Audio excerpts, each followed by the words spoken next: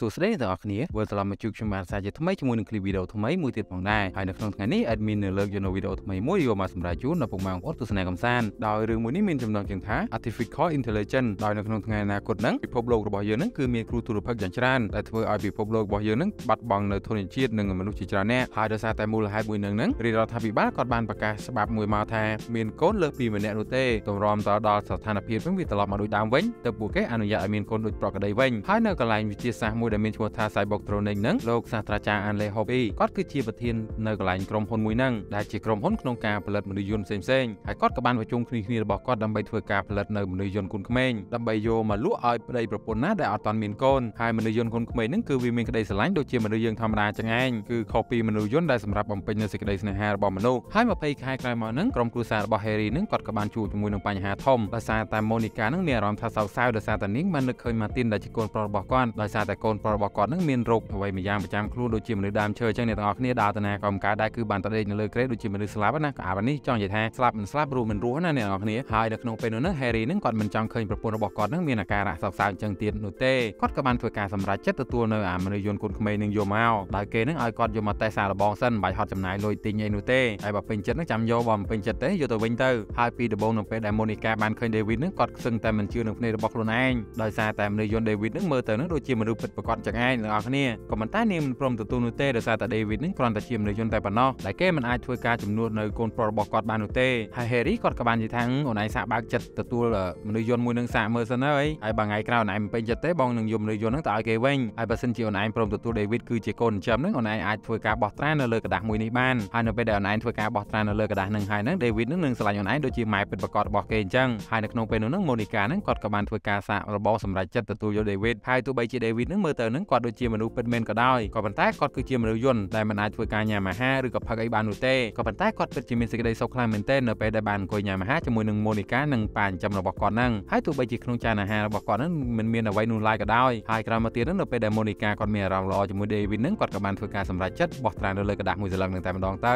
ហើយនៅពេលដែលនាងបានបោះត្រានៅលើกระดาษហ្នឹងហើយហ្នឹង David ហ្នឹងក៏បានផ្លាស់ប្ដូរអារម្មណ៍របស់គាត់ដូចជាមនុស្សពិតប្រាកដមកអោបគាត់អោបអីចឹងទៅហើយគាត់ពិតជាស្រឡាញ់ Monica ខ្លាំងមែនទែនហើយគាត់ក៏បានព្យាយាមធ្វើ គ្រប់យ៉ាងដើម្បីម្ដាយចិញ្ចឹមរបស់គាត់សប្បាយចិត្តហើយចំពោះ Monica នេះវិញនាងក៏បានស្រឡាញ់ David ហ្នឹងដូចជាកូនបង្កើតរបស់នាងចឹងឯងពេលនោះហ្នឹងនាងក៏បានឲ្យ Teddy ដែលជារបស់លេង Super Toy របស់កូនប្រុសរបស់គាត់ទៅឲ្យ David ដែល Teddy ហ្នឹងគឺជាតុក្កតា AI ដែលវាអាចធ្វើការនិយាយហើយនឹងដើរបានក៏ប៉ុន្តែថ្ងៃមួយហ្នឹងអភិនិហាហ្នឹងវាក៏បានកើតឡើងដោយសារតែកូនប្រុសពិតប្រាកដរបស់គាត់ហ្នឹងក៏ចាប់ផ្ដើមមានអាការៈកម្រើកដៃកម្រើកជើងហើយក្រោយមកហ្នឹង Martin ហ្នឹងគាត់ក៏បានដឹងខ្លួនត្រឡប់មកវិញបន្តមកទៀតហ្នឹងនៅពេលដែល Martin គាត់មកដល់ផ្ទះរបស់គាត់ហ្នឹង David ហ្នឹងក៏ក្លាយទៅជាមិត្តភ័ក្តិនិងនិងជាឧបករណ៍លេងរបស់ Martin នឹងឯងហើយនៅយប់មួយហ្នឹង Monica ហ្នឹងគាត់ក៏បានអានរឿងនិទានឲ្យពួកកូនកូនរបស់នាងស្ដាប់ហើយសម្រាប់មនុស្សទូទៅហ្នឹងវាគ្រាន់តែជារឿងនិទានធម្មតាតែប៉ុណ្ណោះក៏ប៉ុន្តែសម្រាប់ David ឯនេះវិញគាត់ក៏បានគិតសម័យថាថ្ងៃណាមួយគាត់នឹងក្លាយទៅជាមនុស្សពិតប្រាកដហើយ David គាត់ក៏បានប្រើជីវិតរបស់គាត់នឹងក្នុងឋានៈជាប្អូនប្រុសរបស់ Martin ហើយ Martin នឹងគាត់ក៏បារម្ភពីម្ដាយរបស់គាត់ខ្លាំងមែនទែននៅពេលនោះនឹងគាត់ក៏បានប្រើវិធីសាស្ត្ររបស់គាត់ដើម្បីឲ្យ David នឹងទៅលួចកាត់សក់ម៉ាក់របស់គាត់ដោយគាត់បាននិយាយកុហក David ថាបើសិនជាយើងកាត់សក់របស់ម៉ាក់យើងយកមកទុកជាមួយនឹងខ្លួនយើងនឹងនឹងធ្វើឲ្យម៉ាក់របស់យើងនឹងស្រឡាញ់យើងខ្លាំងជាងមុនទៅទៀតហើយនៅក្នុងកណ្ដាលយប់មួយនឹងនឹង David នឹងគាត់ក៏បានទៅធ្វើការលួចកាត់សក់របស់ Monica ក៏ប៉ុន្តែ Harry នឹងគាត់ក៏បានងើបមកឃើញតាន់ទៅធ្វើឲ្យ David នឹងគាត់កាន់បានតែបន្តិចតែប៉ុណ្ណោះហើយនៅក្នុងពេលនោះនឹង Teddy នឹងគាត់ក៏បានធ្វើការលួចលាក់នៅអាសក់របស់ Monica ទុកដោយមិនមាននរណាម្នាក់បានដឹងនោះទេហើយនៅក្នុងពេលនោះនឹង Harry នឹងគាត់ក៏បានធ្វើការសម្លុតទៅកាន់ David ខ្លាំងមែនទែនដោយសារតែគាត់នឹងគិតថា David នឹងចង់មកធ្វើបាបភរិយារបស់គាត់ហើយជាច្រើនថ្ងៃក្រោយមកទៀតនឹងពួកគេទាំងអស់គ្នាក៏បានរៀបចំកម្មវិធីខួបកំណត់ឲ្យ Martin ហើយនៅពេលដែល Martin កំពុងតែធ្វើការអង្គុយមើលមិត្តភ័ក្តិរបស់គាត់កំពុងតែហែលទឹកលេងនៅក្នុងស្រះទឹកហ្នឹង David គាត់ក៏បានយករបស់មក surprise Martin ហើយរំពេញនោះនឹងមិត្តភ័ក្តិរបស់ Martin ហ្នឹងគាត់ក៏បានឃើញ David ហើយពួកគេក៏បានចាប់អារម្មណ៍ជាមួយនឹង David ខ្លាំងមែនទែនដោយសារតែពួកគេហ្នឹងបានដឹងថា David ហ្នឹងគឺជាមនុស្សយន្តហើយមានក្មេងប្រុសម្នាក់ហ្នឹងគាត់ក៏បានធ្វើការសារបងក្នុងការការពារខ្លួនរបស់ David ដោយគាត់បានយកកបិតមួយដើមចេញមកហើយពេលនោះហ្នឹង David ហ្នឹងគាត់ក៏មានអារម្មណ៍ថាខ្លាចមែនទែនហើយគាត់ក៏បានធ្វើការអោប Martin យ៉ាងជាប់ក្រោយមកពួកគេទាំងពីរហ្នឹងក៏បានធ្លាក់ចូលទៅក្នុងអាងទឹកភ្លុកតែម្ដងហើយប៉ាម៉ាក់របស់ពួកគេហ្នឹងក៏បានបញ្ញាបញ្ញាមកជួយ Martin ហើយមិនមាននរណាម្នាក់ហ្នឹងចាប់អារម្មណ៍ពី David នោះទេហើយការធ្លាក់ទឹកលើកនេះហ្នឹងក៏ធ្វើឲ្យ Martin ហ្នឹងប៊ីនឹងស្លាប់ទៀតផងហើយពេលនោះ Harry ជាមួយនឹង Monica ហ្នឹងគាត់ក៏បាននិយាយគ្នាថា David ហ្នឹងគឺជាគ្រោះថ្នាក់សម្រាប់គ្រួសាររបស់ពួកគេពួកគេទាំងពីរក៏បានសម្រេចចិត្តធ្វើការបញ្ជូន David ហ្នឹងទៅឲ្យក្រុមហ៊ុនវិញហើយក្រោយមកហ្នឹង David ហ្នឹងគាត់ក៏បានអង្គុយរងចាំម៉ាក់របស់គាត់យ៉ាងកំសត់ដែលគាត់មិនបានដឹងថាពេលនេះហ្នឹងម៉ាក់របស់គាត់ហ្នឹងបានបញ្ជូនគាត់ហ្នឹងឲ្យទៅក្រុមហ៊ុនវិញនោះទេហើយគាត់ក៏បានសរសេរដាក់នៅក្នុងกระดาษមួយថាគាត់ហ្នឹងស្រឡាញ់អ្នកគ្រប់គ្នានៅក្នុងគ្រួសារមួយហ្នឹងហើយនៅពេលដែល Monica បានឃើញហ្នឹងនាងក៏បានរន្ធត់នៅក្នុងអារម្មណ៍ខ្លាំងមែនទែនក៏ប៉ុន្តែគាត់បានសម្រេចចិត្តបញ្ជូនគេហ្នឹងទៅឲ្យក្រុមហ៊ុនវិញទៅហើយហើយក្រោយមកគាត់ក៏បាននិយាយកុហក David David ថាគាត់នាំ David ទៅជិះឡានលេងហើយនៅពេល David បានឮបែបហ្នឹងគាត់ក៏សប្បាយចិត្តខ្លាំងមែនទែនគាត់ក៏បានបន់នៅថ្ងៃស្អែកហ្នឹងមកដល់ឆាប់ឆាប់ហើយនៅថ្ងៃស្អែកឡើងហ្នឹង Monica ហ្នឹងគាត់ក៏បាននាំ Teddy ជាមួយនឹង David ហ្នឹងមកជិះឡានដោយអ្វីដែលនាងបានសន្យាចឹងឯងប៉ុន្តែនាងក៏បានធ្វើការបបើកឡានបដាយំបដាតាំងតែពីពេលដែលពួកគេធ្វើដំណើរចេញពីផ្ទះមកហ្នឹងដោយសារតែនាងបាននៅក្នុងចិត្តថាតាមពិតទៅហ្នឹងគឺមិនមែននាំ David មកជិះឡានលេងទេគឺបញ្ជូន David ហ្នឹងមកឲ្យក្រុមហ៊ុនវិញហ្នឹងហើយទោះបីជាពេលវេលាដែលនៅជាមួយនឹង David ហ្នឹងមិនយូរប្រហែលក៏ដោយក៏នាងបានស្រឡាញ់ David ហ្នឹងដូចជាកូនបង្កើតអញ្ចឹងហើយនាងពិតជាមិនអាចធ្វើចិត្តបានទេនៅពេលដែល David ត្រូវបានគេយកទៅបំផ្លាញហើយនាងក៏បានសម្រេចចិត្តជាលើកចុងក្រោយដោយមិនយក David ហ្នឹងទៅឲ្យក្រុមហ៊ុនវិញនោះទេ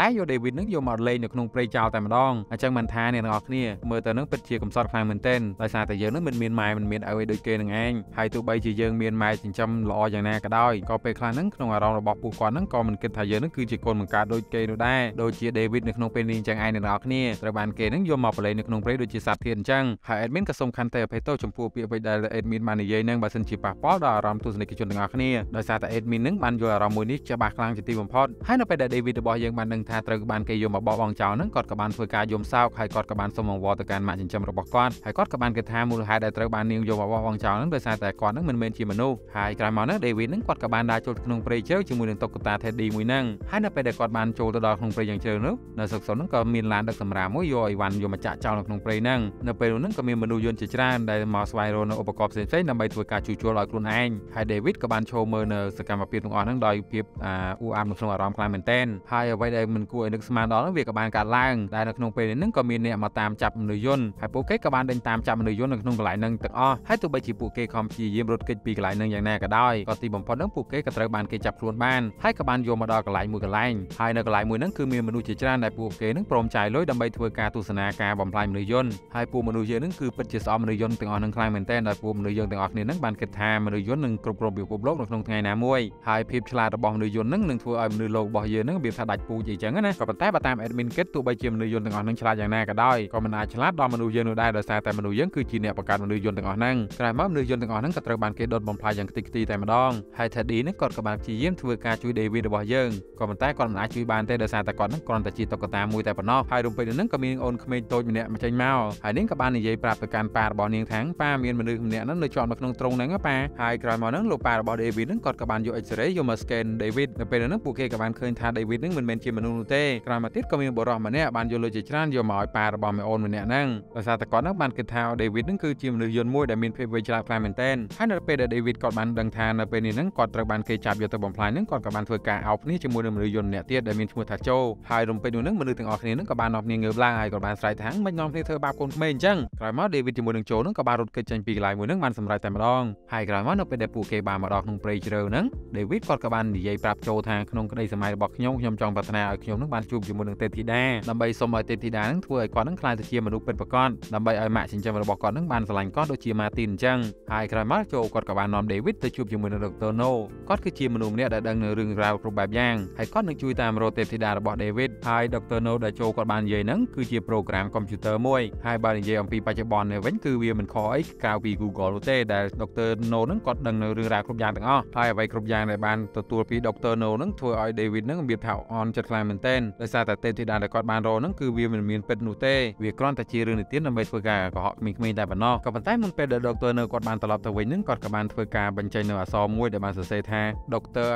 Ellen Hobby ហ្នឹងគាត់អាចធ្វើការផ្លាស់ប្ដូរមនុស្សយន្តឲ្យក្លាយទៅជាមនុស្សបានហើយនៅពេលដែល David គាត់បានលើបែបហ្នឹងគាត់ក៏បានត្រឡប់មកមានសេចក្តីសង្ឃឹមម្ដងទៀតហើយក្រោយមកគាត់ក៏បានធ្វើការព្យាយាមតាមរកសាស្ត្រាចារ្យ Ellen Hobby ដែលមាន Teddy ជាមួយនឹង Joe ហ្នឹងគឺជាអ្នកនាំផ្លូវហើយទៅជាមួយនឹងគេនឹងឯងហើយក្រោយមកពួកគេក៏បានធ្វើការបើក helicopter ហ្នឹងមកដល់កន្លែងមួយហើយក្រោយមកទៀត David គាត់ក៏បានជួបជាមួយនឹងលោកសាស្ត្រាចារ្យ Halle Copy ដែលគាត់គឺជាអ្នកផលិតមនុស្សយន្តនឹងឯងប៉ុន្តែ David គាត់បានសង្ឃឹមថាលោកសាស្ត្រាចារ្យនឹងជួយឲ្យគាត់នឹងក្លាយទៅជាមនុស្សពិតក៏ប៉ុន្តែលោកសាស្ត្រាចារ្យគាត់ក៏បាននិយាយថាគាត់គ្មានលទ្ធភាពក្នុងការធ្វើឲ្យមនុស្សយន្តក្លាយទៅជាមនុស្សពិតនោះទេហើយក្រោយមក David គាត់ក៏បានទៅឃើញនៅមនុស្សយន្តជាច្រើនដែលមើលទៅនឹងដូចជាខ្លួនរបស់គាត់អញ្ចឹងហើយក្រោយមកទៀតហ្នឹងគាត់ក៏បានឃើញថាវាមិនមែនមានតែមួយគ្រឿងនោះទេវាមានច្រើនខ្លាំងមែនទែនដែលគេនឹងត្រៀមបញ្ជូនទៅឲ្យអ្នកដែលចង់ទិញហើយនៅពេលដែល David គាត់បានឃើញបែបហ្នឹងគាត់ក៏បានមានអារម្មណ៍ថាខូចចិត្តខ្លាំងមែនទែនដោយសារមិនមែនតែមានតែគាត់ម្នាក់តែប៉ុណ្ណោះនោះទេក្រោយមក David ហ្នឹងគាត់ក៏បានសម្រេចចិត្តធ្វើការហក់ទឹកដើម្បីសម្លាប់ខ្លួនតែចូលរបស់យើងហ្នឹងគាត់ក៏បានមកជួយតាន់ហើយ David គាត់ក៏បាននិយាយប្រាប់ចូលថាខ្ញុំបានជួបទេពធីតាហើយក៏ប៉ុន្តែរកពេជ្រនោះហ្នឹងមិនទាន់បានអបអរសាទរអីផងហ្នឹងចូលហ្នឹងក៏ត្រូវបានគេចាប់ខ្លួនយកទៅ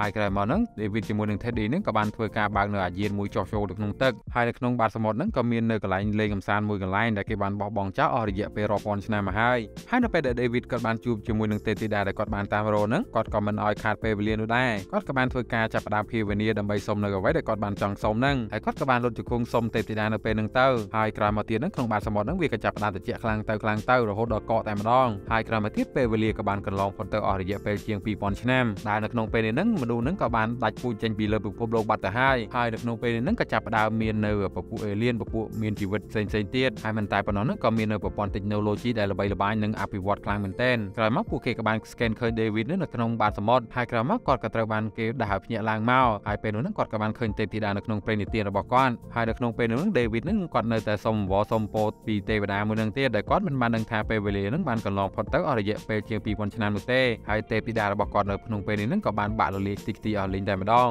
ហើយ David នៅក្នុងពេលនេះហ្នឹងគាត់ក៏បានត្រឡប់មកដូចជាមនុស្សពីមុនអញ្ចឹងហើយអ្វីដែលគាត់ចង់ជួបជាដំបូងហ្នឹងគឺចង់ជួបម៉ាក់របស់គាត់ហ្នឹងឯងដែលនេះគឺជាមនុស្សស្រីម្នាក់ដែល David ហ្នឹងស្រឡាញ់ជាទីបំផុតក៏ប៉ុន្តែអ្វីដែលគាត់បានជួបហ្នឹងគឺជាទេពធីតាមែនទែនតែតាមពិតទៅហ្នឹងទេពធីតាមួយហ្នឹងវាគ្រាន់តែជារូបភាពមួយយ៉ាងដែលពួកមនុស្ស alien ហ្នឹងបានផលិតចេញមកតែប៉ុណ្ណោះហើយពួកគេក៏ព្យាយាមធ្វើឲ្យ David នេះមានសេចក្តីសុខខ្លាំងជាទីបំផុតដោយសារតែ David ហ្នឹងគឺជាមនុស្សម្នាក់ដែលរួចផុតពីសេចក្តីស្លាប់ហើយ David គាត់ក៏មិនសុំអីច្រើនដែរគ្រាន់តែសុំជួបជាមួយនឹងម៉ាក់របស់គាត់ហ្នឹងជាថ្មីម្ដងទៀតប៉ុន្តែវាមិនអាចទៅរួចនោះទេដោយសារតែពួកគេមិនមាន DNA របស់មនុស្សឡើយហើយ Teddy គាត់ក៏បានយកសរសៃសក់របស់ Monica ដែលបានលាក់ទុកនោះយកមកឲ្យ David ដើម្បីឲ្យ David នឹងមានឱកាសបានជួបជាមួយនឹងម៉ាក់របស់គាត់ម្ដងទៀតហើយក្រោយមកទៀត David គាត់ក៏បានទៅអង្គុយចាំនៅក្នុងបន្ទប់យ៉ាងមានក្តីសង្ឃឹមហើយក្រោយមកហ្នឹងក៏មានពួក alien ហ្នឹងមកនិយាយជាមួយនឹង David ហើយនៅក្នុងពេលនេះពួក alien ហ្នឹងក៏បានព្យាយាមធ្វើការបង្កើតនៅមនុស្សរបស់យើងហ្នឹងឲ្យមានជីវិតនៅលើផែនដីម្ដងទៀតក៏ប៉ុន្តែទោះបីជាពួកគេនឹងព្យាយាមអស់រយៈពេលប្រហែលដងក៏ដោយក៏មិនអាចទៅរួចនោះដែរហើយពួកគេក៏បានគិតថាគ្រប់យ៉ាងគឺវានឹងទៅតាមពេលវេលាហើយបើសិនជាចង់ឲ្យមនុស្សមករស់នៅក្នុងសម័យបច្ចុប្បន្នហ្នឹងគឺពួកគេនឹងអាចរស់នៅបានត្រឹមតែមួយថ្ងៃតែប៉ុណ្ណោះហើយទោះបីជាមានពេលវេលាត្រឹមតែមួយថ្ងៃក៏ដោយក៏ David នឹងចង់ឲ្យម៉ាក់របស់គាត់នឹងមិនរស់នៅជាមួយគាត់ដែរហើយក្រោយមកពួក alien នឹងក៏បានធ្វើឲ្យសេចក្តីប្រាថ្នារបស់ David នឹងក្លាយទៅជាការពិតហើយនៅក្នុងពេលនោះនឹង David ក៏បានជួបជាមួយនឹងម៉ាក់ម្ដងទៀតហើយគាត់ក៏បានប្រើជីវិតរបស់គាត់យ៉ាងមានសេចក្តីសុខនៅក្នុងពេលនោះទៅហើយក្រោយមកនឹង David នឹងក៏បានជូន Monica ទៅដេកនៅក្នុងបន្ទប់របស់គាត់ហើយគាត់ក៏បាននឹងថានៅពេលដែលម៉ាក់របស់គាត់ដេកទៅហ្នឹងគឺគាត់នឹងមិនអាចត្រឡប់មកវិញបានទៀតនោះទេហើយមុនពេលដែលនាងធ្វើការដេកហ្នឹងនាងក៏បានធ្វើការអោប David ហើយក៏បានប្រាប់ថាម៉ាក់ស្រឡាញ់កូននិងកូនសម្លាញ់ហើយពេលនោះនឹង David នឹងគាត់ក៏មានអារម្មណ៍ល្អខ្លាំងមែនទែនហើយគាត់ក៏មិនត្រូវការអីទៀតនោះដែរហើយនៅក្នុងពេលនោះនឹង David នឹងគាត់ក៏បានដេកអោបម៉ាក់គាត់ហើយនៅដេកនៅជិតម៉ាក់គាត់នឹងឯងហើយគាត់ក៏បានធ្វើការដេកហើយនឹងធ្វើការបិទម៉ាស៊ីនរបស់ខ្លួនឯងទៅជាមួយនឹងម៉ាក់របស់គាត់នឹងហើយវីដេអូរបស់យើងគឺចប់តែប៉ុណ្្នឹងឯងអ្នកទាំងអស់គ្នាជាចុងក្រោយ admin ក៏សូមខន្តីអភ័យទោសចំពោះពាក្យពេចន៍ដែលលើលួដោយប្រការណាមួយមិនសមរម្យសូមពុកបងប្អូនមេត្តាអធិស្ឋានដល់ admin ផងហើយបើសិនជាចូលចិត្តកុំភ្លេចជួយចុច like subscribe ដាក់សញ្ញាកណ្ដឹងឲ្យ admin ម្នាក់មួយផងជាចុងក្រោយ admin ក៏សូមអរគុណសូមជម្រាបលា